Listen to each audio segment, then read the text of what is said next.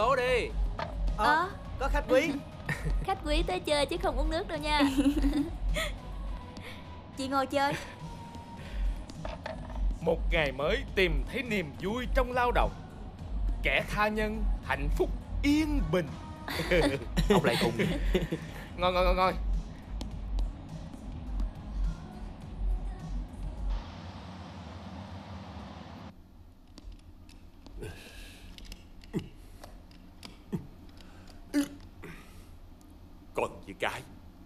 Vậy là công cốc Có thể là con mình cần thêm thời gian để suy nghĩ lại. Còn phải suy nghĩ gì nữa? Thiệt hơn đã rõ ràng như vậy còn suy nghĩ cái gì? Thằng đàn ông mà đi bám váy vợ Thì đẹp mặt lắm sao? Con với cái.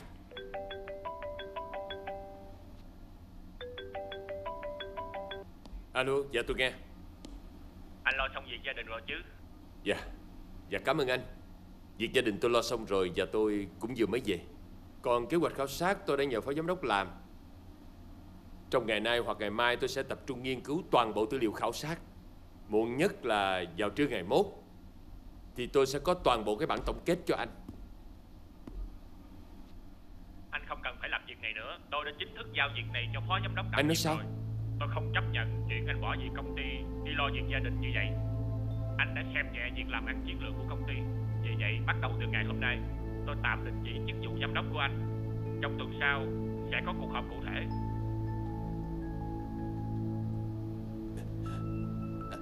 Anh Anh dám đối xử với tôi như vậy sao?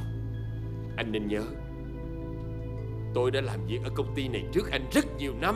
Nhưng tôi là tổng giám đốc Tôi có trách nhiệm và quy tắc trong công ty của mình. Anh muốn nói gì thì hãy trình bày trong cuộc họp tới. Alo Alo Anh ơi, có chuyện gì vậy anh? Anh ơi, anh ơi, anh bình tĩnh lại. Có chuyện gì vậy anh? Khốn nạn Quân súc vật Bọn bất nhân bất nghĩa Trời ơi Nếu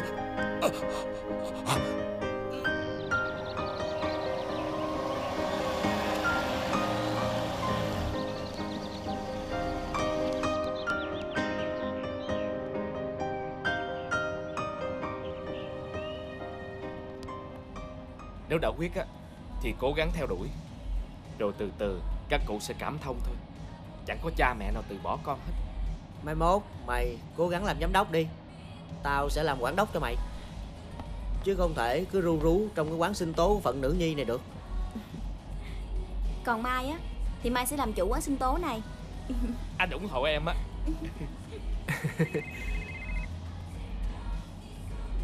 Xin lỗi mọi người một chút nha Con nghe má. Con về nhà ngay. Ba con mới bị nhồi máu cơ tim Đang cấp cứu ở bệnh viện tỉnh Sao má? Má Má nói gì vậy? Họ đang tiến hành phẫu thuật cho ba con kìa. Dạ Con về liền.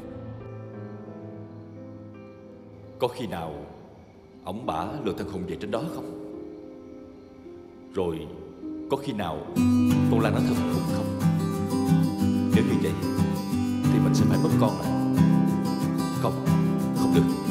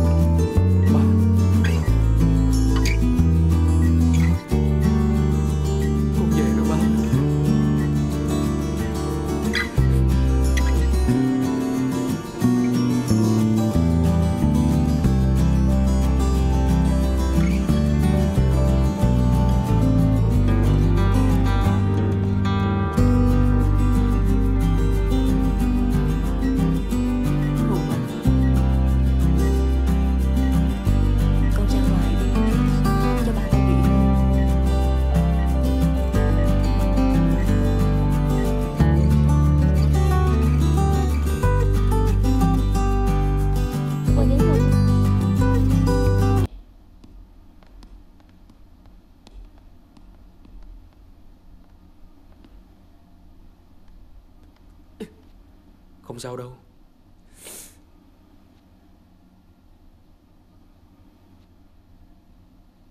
Má Ba con bị gì vậy?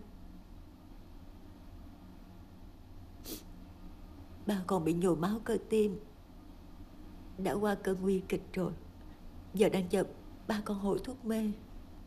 Mà chuyện ổn rồi. Anh phải vững lòng nha Con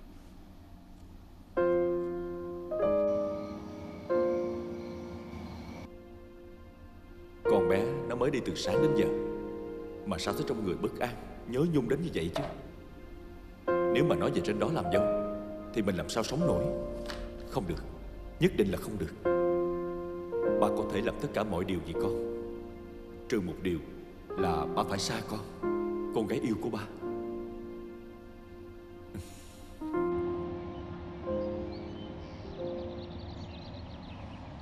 Con thương má, Thương ba. Xin con hãy đồng ý về đây Theo tâm nguyện của ba con.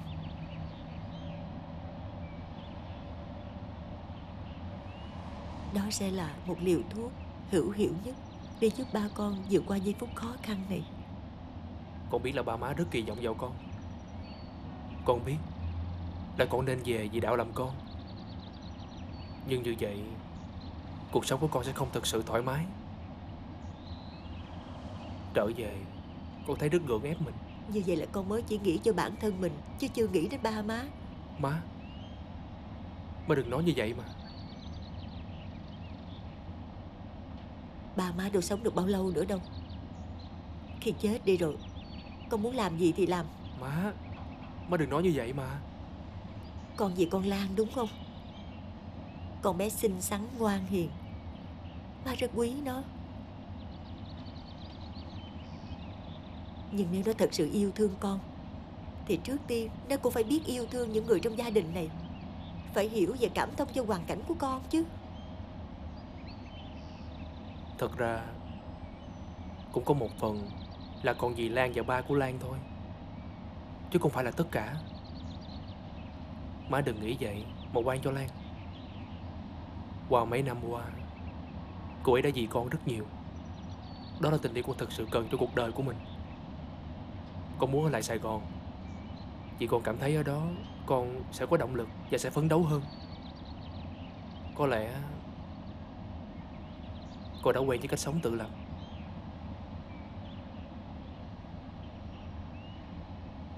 Là do mấy năm qua Con đã quen với cách sống ấy. Mọi sự đều có thể thay đổi Khi chính bản thân con thay đổi. Về đây một thời gian, Biết đâu con sẽ thấy mình phù hợp với môi trường sống ở đây. Mà cả Lan nữa. Biết đâu nó cũng sẽ thích. Má cho con thêm thời gian suy nghĩ nha. Trước mắt Con có thể ở nhà một thời gian Để cùng má chăm sóc ba. Còn về lâu về dài Con chưa thể quyết định được. Dù thế nào thì Con cũng không nên trở lại Sài Gòn. Nhất là trong lúc ba con đang như thế này. Má không muốn con phải sống trong sự hối hận Cho cả phần đời về sau đâu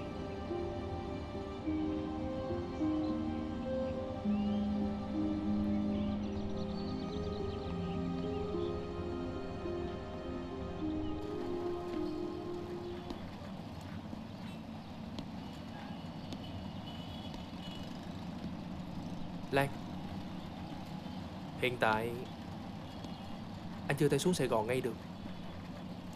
Anh phải ở bên cạnh má Để chăm sóc ba Lo cho ba nữa.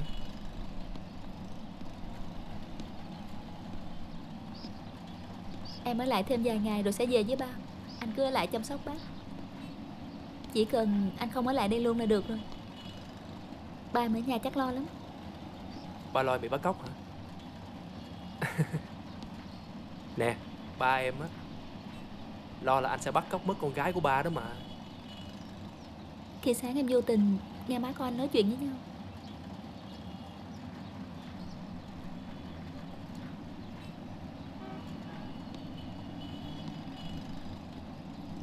Em hiểu những tâm trạng của bác. Nhưng mà Nói thật thì Em cũng không biết mình sẽ ra sao. Nếu anh trở về đây luôn. Đó là điều mà Em chưa bao giờ nghĩ tới hết Đừng khóc nữa.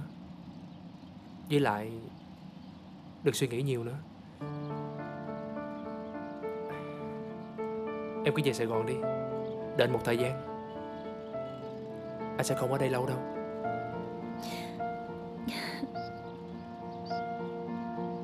Em đã chờ anh mấy năm rồi. Thêm một thời gian nữa Cũng đâu có sao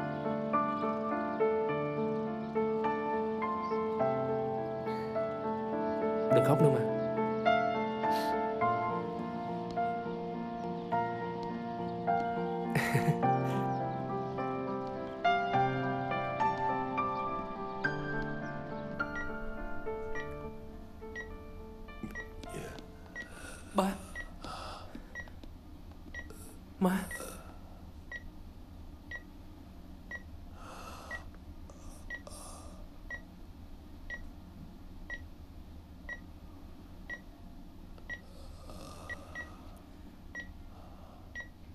Tỉnh rồi hả? Hùng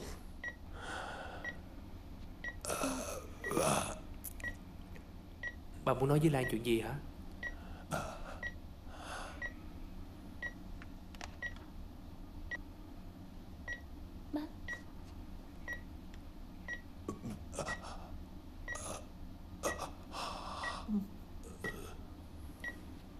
Lan à Ông ấy đang khẩn thiết sinh con. Với thằng Hùng về đây đó.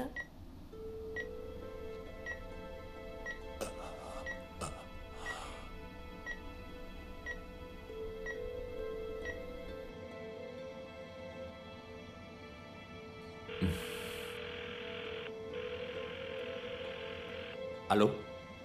Ba chưa ngủ sao ba? Chưa. Khi nào thì con về Dạ tối mai con về. Ba cứ yên tâm ngủ đi. Con gái của ba sẽ không bỏ ba đi đâu. Bà hỏi thăm vậy thôi. Con đang ở đâu? Ông thông gia tương lai của ba thế nào rồi? Dạ con đang ở bệnh viện đây. Bác trai tỉnh lại rồi. Và đã nhận ra mọi người rồi. Nhưng mà vẫn đang còn tác dụng của thuốc mê. Con đưa máy cho ba nói chuyện với bác gái. Dạ Thôi ba ngủ đi Cũng đã khuya rồi. Với lại cũng không tiện nữa.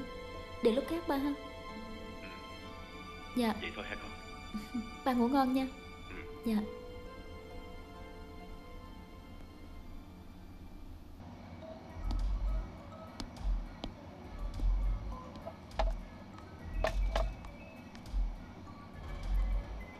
Theo như anh Giọng Thì chuyến này thằng Hùng nó có bị ở nhà luôn không? Ờm, Có thể không?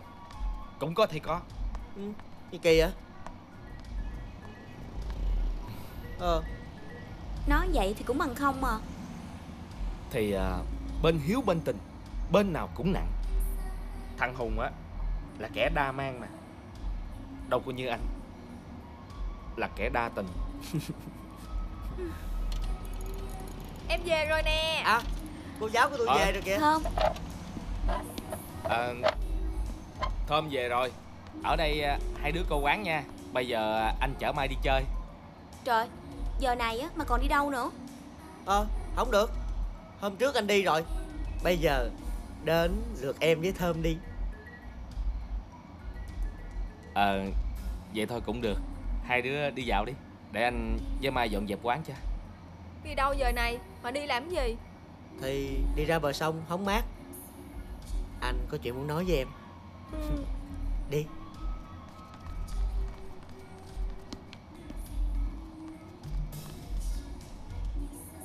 Mình hãy nhường lại cái việc rửa ly chén cho hai người đẹp đó đi. Em với anh đi. Thì nói vậy đi. Em đi nha. Ừ.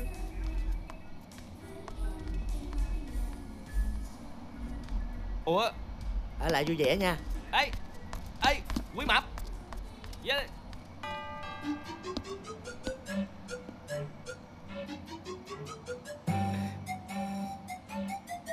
Mai bữa nay khỏe không?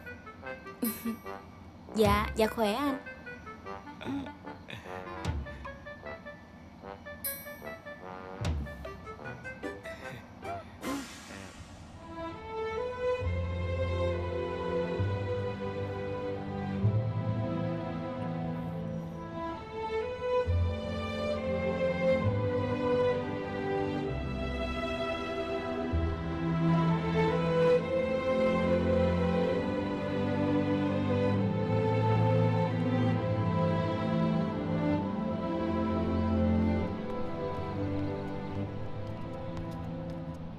Những gì cần nói với con. Bác đã nói hết rồi. Chỉ mong con hiểu cho hoàn cảnh của bác Và cảm thông với bác. Mà động viên Hùng giùm bác. Tối nay con về dưới, Cho bác gửi lời hỏi thăm ba con nha. Dạ.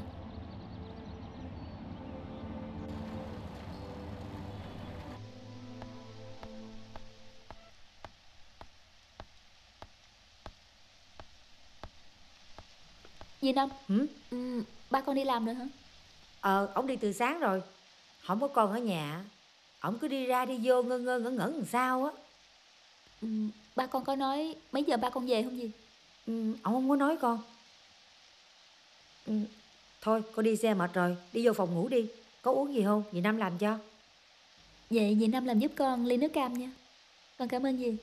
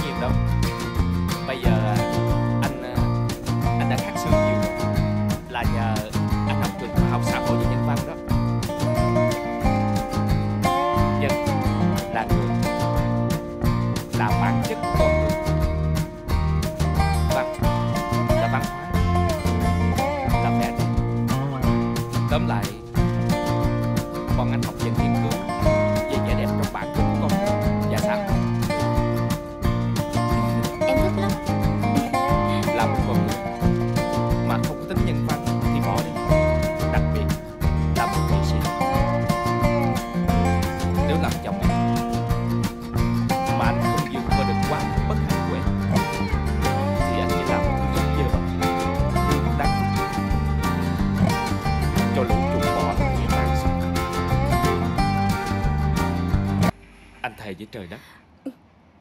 Anh đừng có thề. Em tin anh mà. Em nói là em tin anh. Dạ.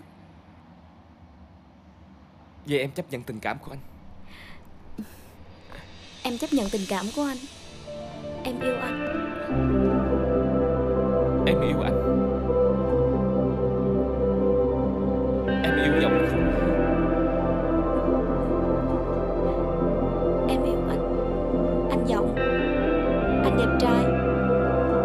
Anh sống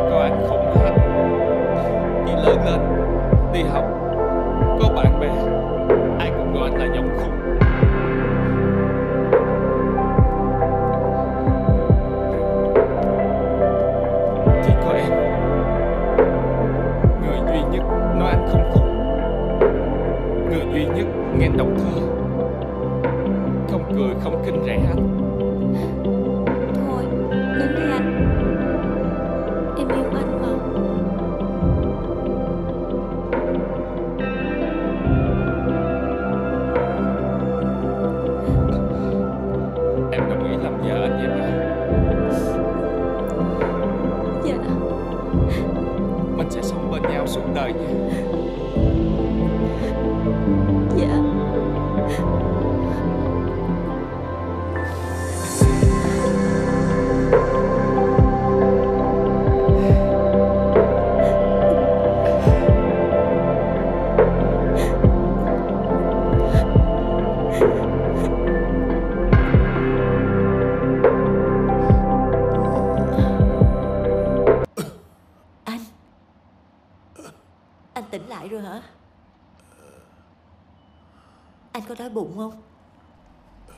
Em lấy sữa anh uống nha.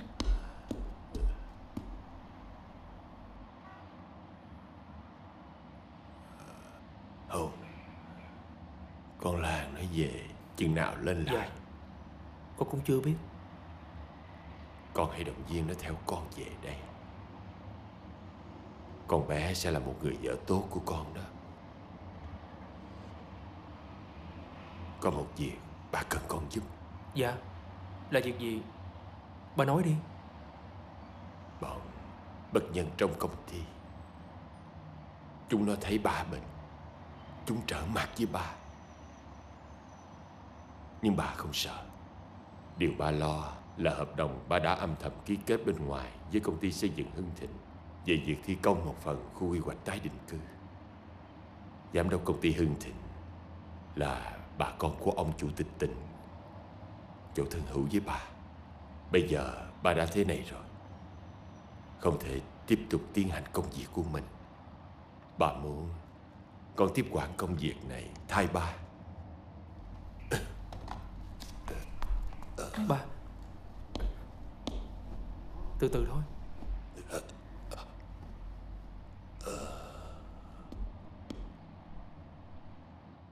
Hùng à Hợp đồng Ba đã ký kết với người ta Ba để trong két sắt Ở trong nhà.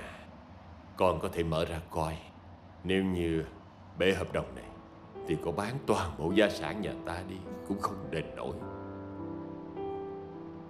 Ba chưa biết Ba sống chết như thế nào. Chỉ còn con và má con. Ba không yên lòng Nếu như phải về với ông bà. Con hiểu rồi ba. Ba nghỉ ngơi đi cho khỏe. Ba đừng nói nữa. Không. Bà cảm thấy Lần này bà khó có thể Hồi phục lại như lần trước. Bà Bà muốn nói hết với con. Bà muốn con hứa với ba. Con sẽ làm được phải không con? Như vậy bà chết Ba cũng sẽ cam lòng. Ba Ba già rồi không sống được bao lâu. Bà cố gắng làm tất cả Là để cho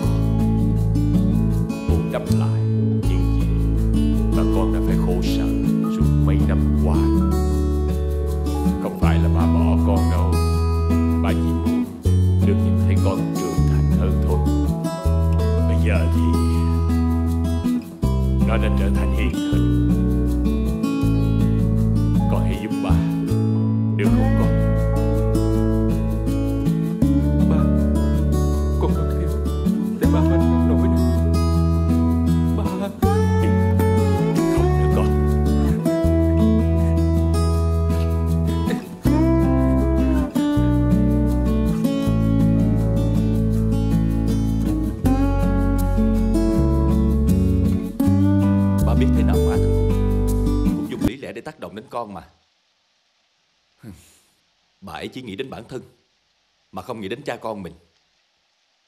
Cũng may á, là thằng Hùng nó thực sự muốn lập nghiệp ở đây. Ừm, kể ra cũng khó xử. Nhưng mà dù sao thì Con cũng không muốn xa ba.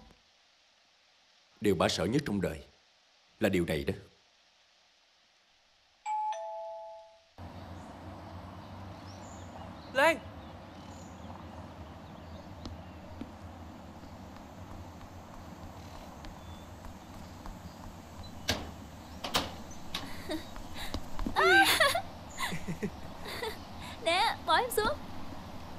nhà không em?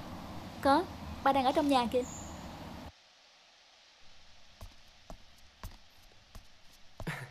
Cô chào chú. Sao con xuống sớm quá vậy?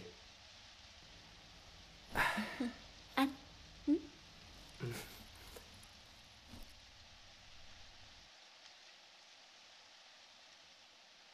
Con xuống thư chuyện với chú. Giờ Lan. Rồi ngày mai con lên đó luôn. Ừ,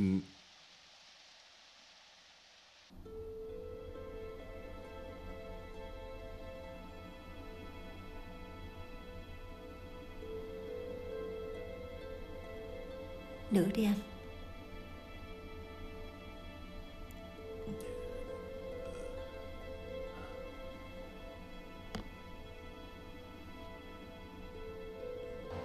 Mấy ngày qua Cậu nói sẽ ở lại Sài Gòn.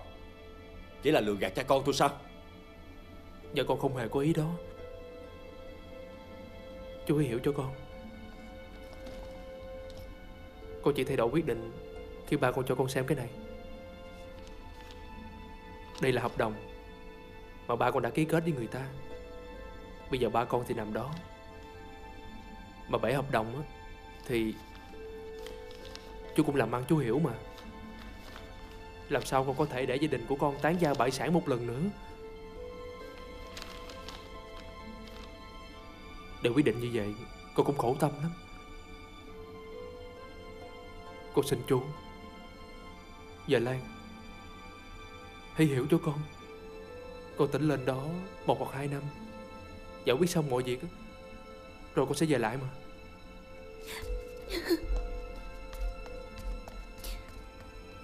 Chú ơi Con xin chú hãy hiểu cho con. Tôi hiểu cho cậu rồi ai hiểu cho tôi? Rồi chuyện cậu với con Lan Cậu định thế nào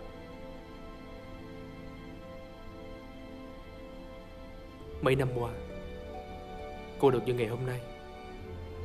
Đều do chú và Lan Luôn ở bên cạnh giúp đỡ con. Chú ơi Lúc này là lúc con cần Lan hơn bao giờ hết.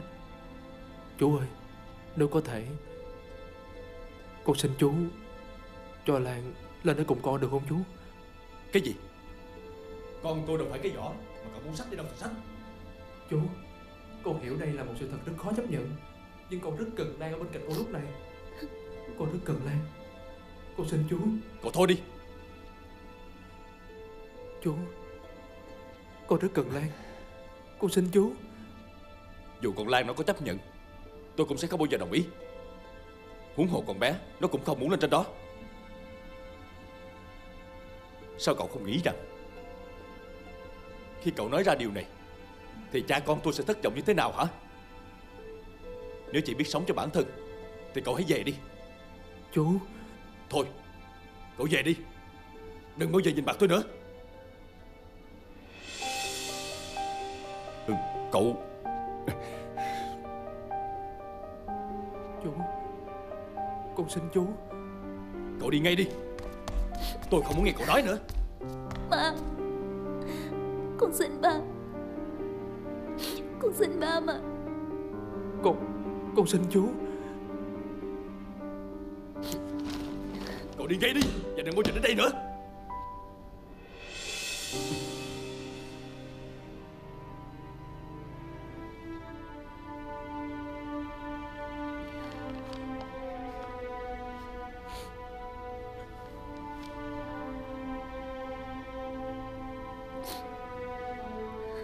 Anh xin lỗi. Anh không còn sự lựa chọn nào khác trong lúc này anh luôn cần có em ở bên anh. Đừng rời xa anh nha. Anh xin em đó.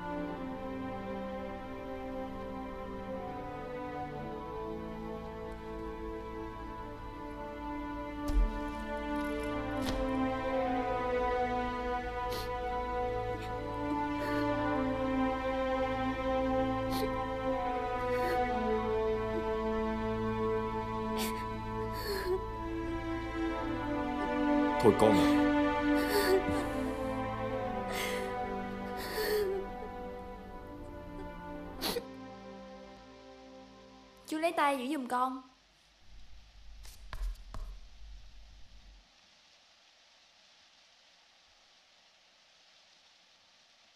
Cô chăm sóc chú giùm cháu. Đúng giờ cháu sẽ quay lại tiêm thuốc. Có gì cô cứ gọi cho cháu nha. Dạ cảm ơn cô.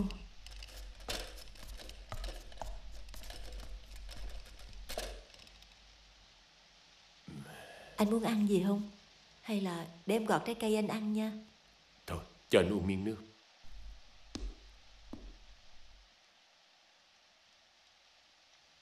Ba. Má.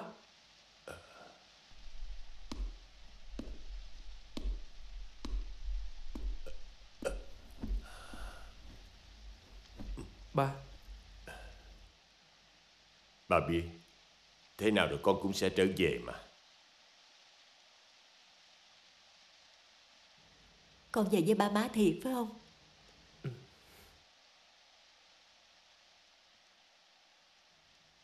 Mà con sẽ vui lắm.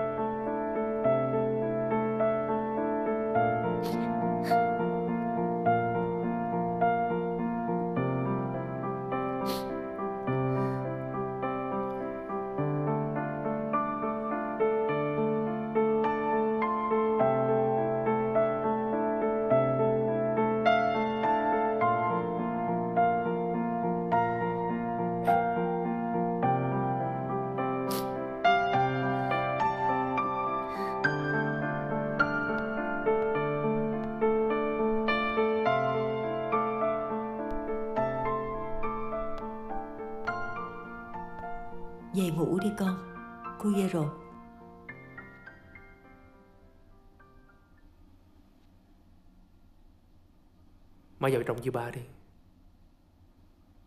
Con cần được ngồi một mình. Về ngủ sớm đi con. Con mà bệnh thì Má không biết làm sao nữa. Má Má vào trong đi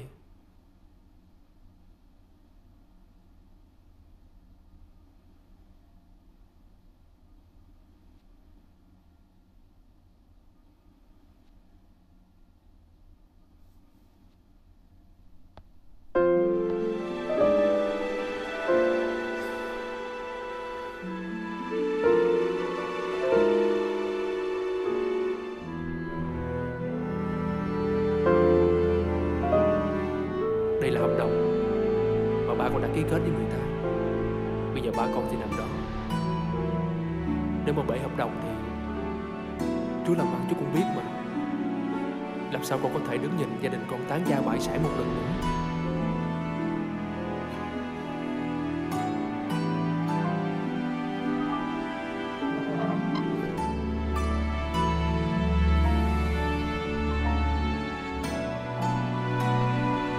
Con xin chú Dạ lại, Hãy hiểu cho con. Con Con tính về trên đấy một hai năm, Giải quyết xong mọi việc. Rồi con sẽ về đây. Thật ra, Cũng có phần con vì Lan và ba của Lan. Nhưng đó không phải là tất cả. Má đừng nghĩ vậy mà tội cho Lan. Cô ấy mấy năm qua Đã vì con rất nhiều. Đó là tình yêu con thật sự cần trong cuộc đời của mình, má. Con muốn ở Sài Gòn Vì con thấy ở đó, Con có cảm hứng làm gì để phấn đấu hơn Chắc con đã quen với cách sống tự lập. Dù thế nào thì con cũng không nên trở lại Sài Gòn. Nhất là trong lúc ba con đang như thế này Má không muốn con phải sống trong sự hối hận cho cả phần đời về sau đâu.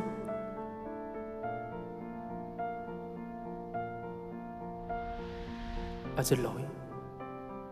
Anh không có sự lựa chọn nào khác trong lúc này. Anh luôn cần có em ở bên anh. Đừng rời xa anh anh xin em đó.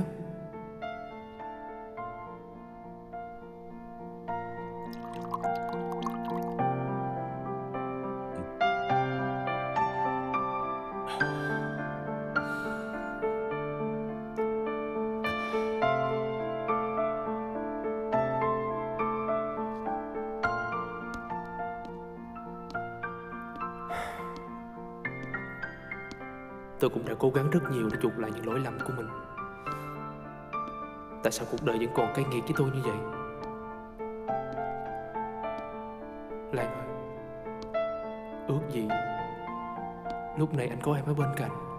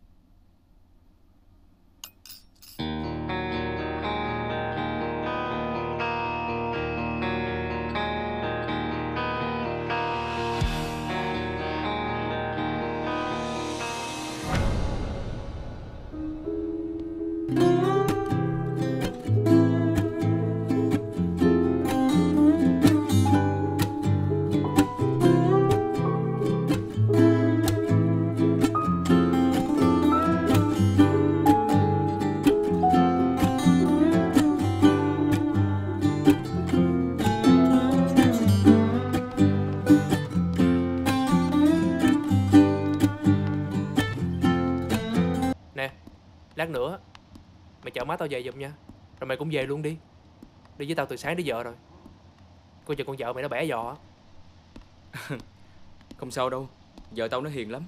Mà cửa hàng của tao đóng cửa hoài à. Ở đây công trình xây dựng ít Nên hàng xì lai rai thôi mày ơi. Không như ở thành phố. Thôi vui đi.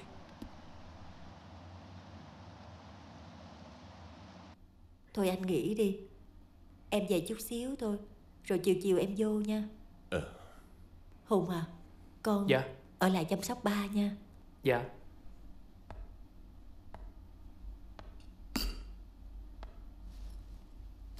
Con xin phép con về luôn bác. Tao đi nha. Mày đi cẩn thận Mình nha. đi bác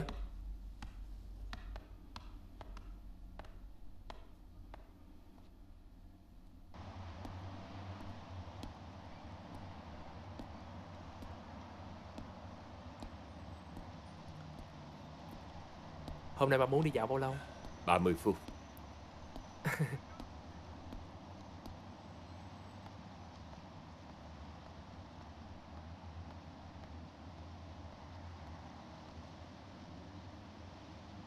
Nè, Bà thấy là con bận rồi đó. Nhìn kìa.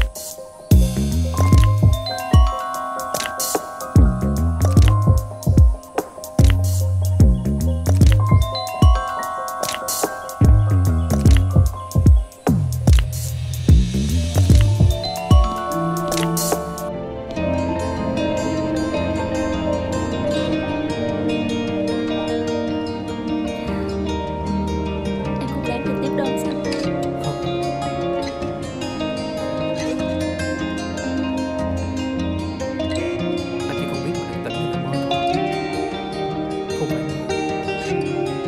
Là thật Là em sư bất thật đấy mà. Đừng làm cái gì trước mặt hai lão già.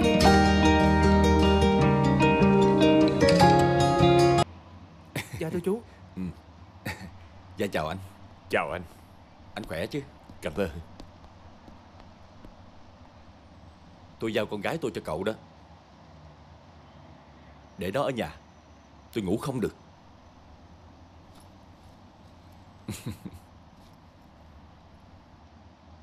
Chúng ta nên đi chỗ khác thôi anh xui. Phải rồi anh. Đi thôi Mình đi. Hai đứa cứ tự nhiên nha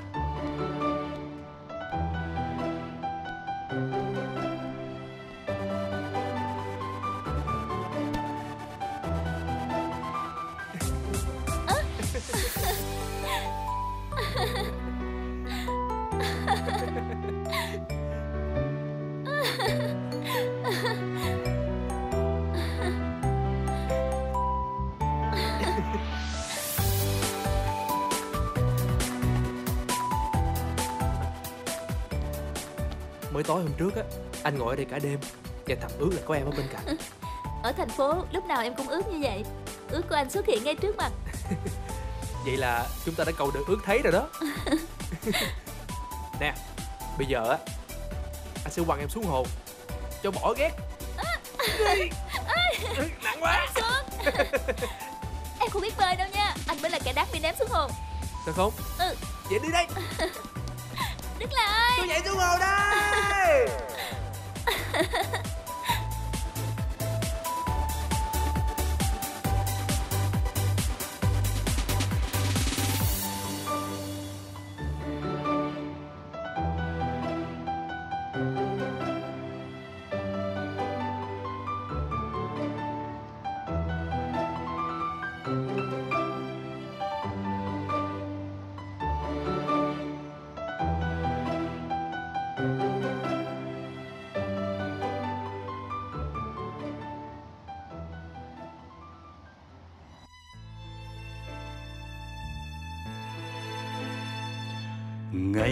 lại ngày trôi qua hững hờ. Bao nhiêu hoang mang bước đi âm thầm. Rồi chút ánh sáng le loi phía nơi cuối đường. Em đã đến cho lòng thêm ấm lại. Từng cơn gió cứ ùa về ra diên, làm tim xe lạnh trong bao đớn đau chỉ mong ngày mai vượt qua tất cả mình sẽ có nhau, nơi đôi ta bắt đầu.